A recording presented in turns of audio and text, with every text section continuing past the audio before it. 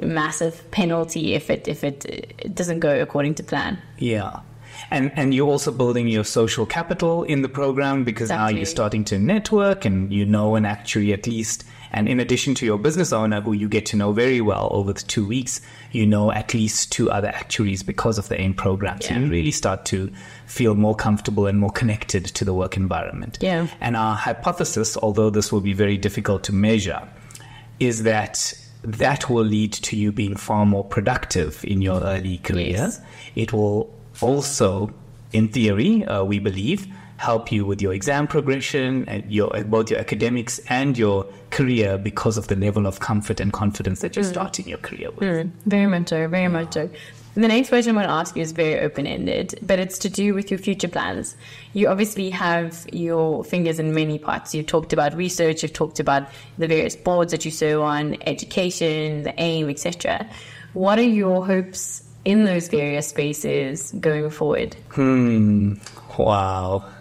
Um, I think I must start with my hope for myself. Um, I think I'm learning how to deal with the fact that the world is much more complex than I originally Yeah. thought.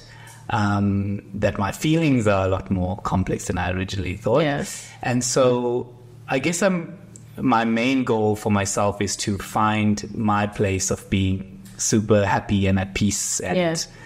kind of enjoying the places I'm working in. Um, and my hope then is for actuarial education to become this place of really robust um, creation of problem solvers. You know, Yeah. like a, and by that I mean being able to be like much more accommodating of people with very different backgrounds, who think very differently, who have much different skill sets Yeah.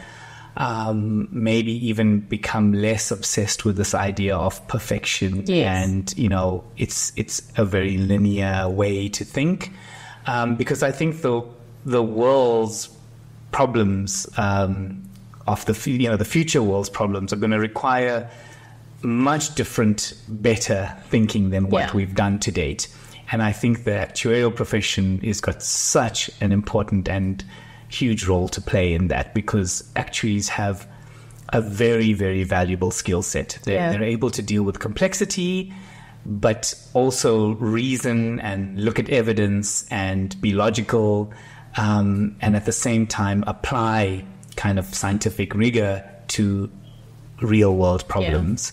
Yeah. Um, and so my hope is, yeah, for me to enjoy this journey of creating the space, um, creating some diversity in the way we're teaching uh, actuarial students, and hopefully produce, yeah, problem solvers.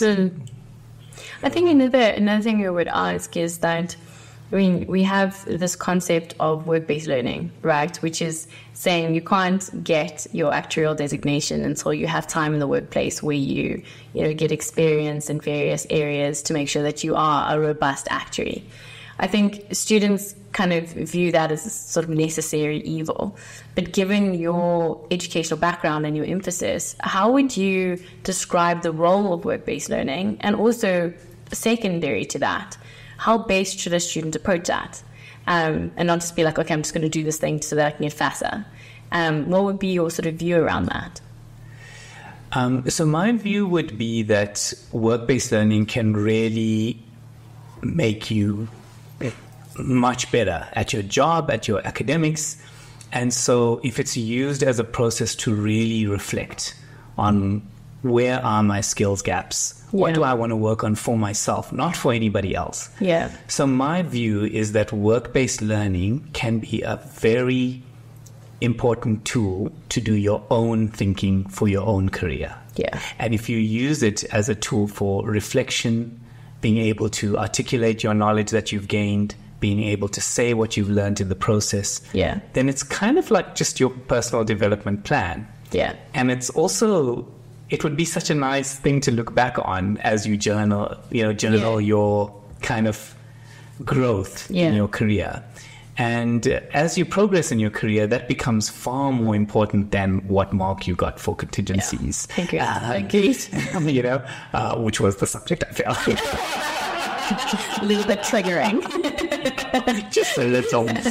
Um, so I think work-based learning is something that, again, maybe because of our background in our education, we we fear the skill a little bit Yes. because we are unaware of it, and maybe we think, "Ah, this is not not as important as the technical mathematical Yeah. formulae." Yeah. But um, as you become, as you progress with your career, those are some of the skills that you end up really using to influence people and to actually get what you want, Yeah. uh, you know, out of your own kind of work. Um, and so the work-based learning process, I think, is very fearful. And I think it's sad when students see that as a hindrance because they tend to then um, let that delay their qualification. Yes, I've had numerous friends who have finished all their exams and then work based learning takes like five or six years just because they couldn't really get around to the admin of it. Yeah, and I think that they see it as admin fundamentally. Yes, and I think that's so. My question would uh, that I think would be valuable to look there look at here is what might you be assuming Yes. that is stopping you from writing out your reflections on what you've been learning? Yeah. Uh, because once you, if some of those assumptions can be understood, then perhaps you could convince yourself that what you might be assuming is not true. Yeah. Um, That's very actuarial as well. yeah, it's like that's an assumption with the test. Um, and and actually, the, the, the recipe is, is really quite simple. So for each skill, you've got to list uh, list what your skills gaps were. So Yeah. what experience did you have? What what did you look to grow into?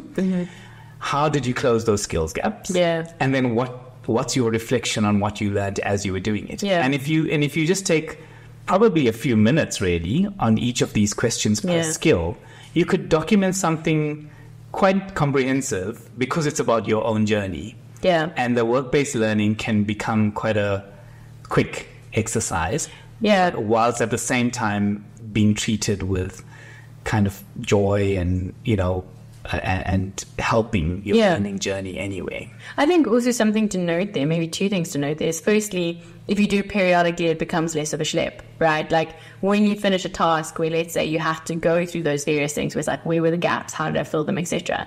If you reflect quickly, then you don't have to constantly be like, did I do a piece of work that actually I filled the gaps or had to upskill on? But Yeah. if you're not reflecting, you don't remember. But then also, I think it sets you up well for post qualification when you have to do CPD Yes. with your continuous professional development, because that is what CPD is, right? It's saying, how are you constantly keeping relevant? And a big part of that is actually reflecting on the skill set that you have. And so for me, work based learning was setting you up, making you practice that skill that you should actually be implementing for the rest of your career. And um, I don't think students see it that way. And that's, I think, is actually a really important positioning because it, it, it is a skill in and of itself. Yes. And, and um, reflection is not something I think comes easily. Um, and is a sort of like a muscle that needs to be flexed. But I, I think another question I would ask you, and maybe a closing question, would be what advice or encouragement would you give to an aspiring actuary? And I think sort of a caveat to that would be considering what you would have really benefited from hearing when you were in that space.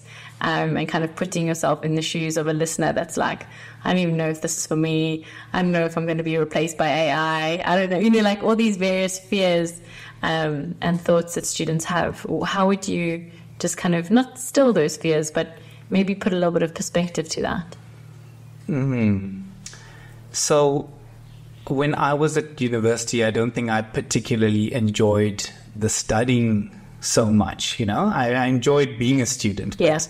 I didn't quite, I would say, you know, take full advantage of the learning process, and I was quite frustrated and often asking myself whether I was studying the right thing. Well, Um, and in my case, what the, actuarial career has turned out to be something that is very, very flexible Yeah. and very customizable. Yeah. I've always found that I can use my skill sets to work on problems that I'm interested in. yes.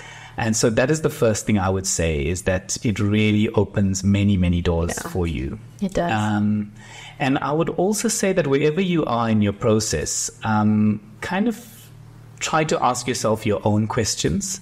Um, take your kind of first step. You know, what what is it that that are your own questions to ask, not not what is expected from other people. Yeah. Maybe the actuarial career turns out to be great for you, and maybe it doesn't. But either way, the fact that you are connected to it means that you've been learning something and you've been exposed to lots of really great skills. Yeah. And so I think one day, uh, if you're a student and might not necessarily be appreciating the skills now, uh, it is it is definitely a set of skills that is so kind of implementable and so useful in Yeah. the real world. Um, and then I would also encourage people to say that everybody is capable of doing brilliant, unique thinking. Yeah.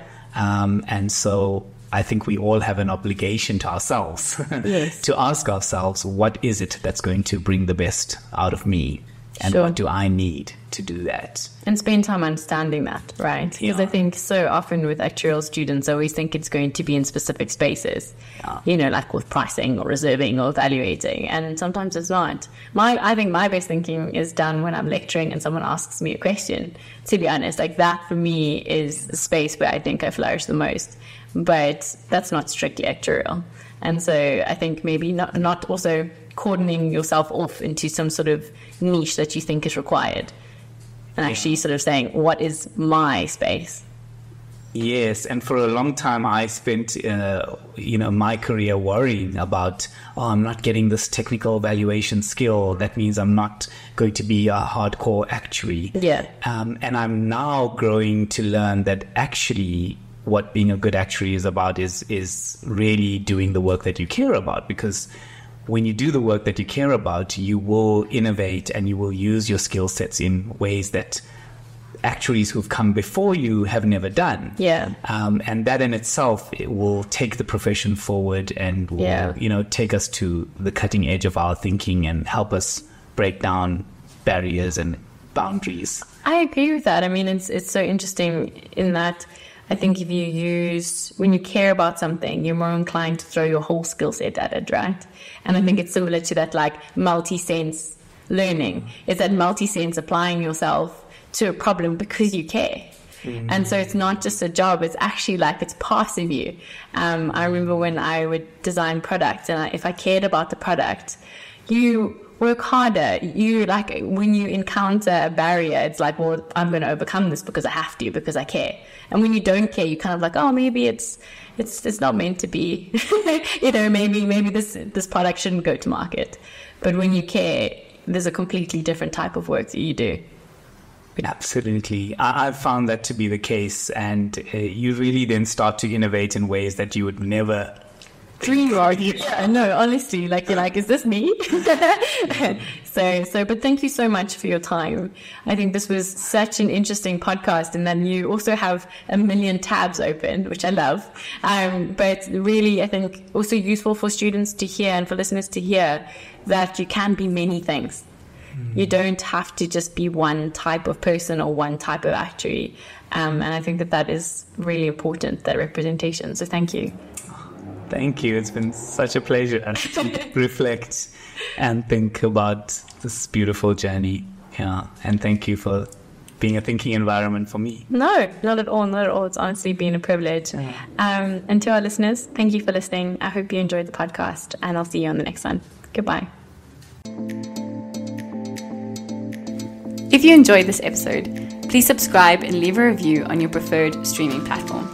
If you'd like to interact with us more or add questions or topics to our pool of ideas, please follow our Instagram page at AS for Actuary or email us on asforactuary at gmail.com. Thank you for listening. Take care.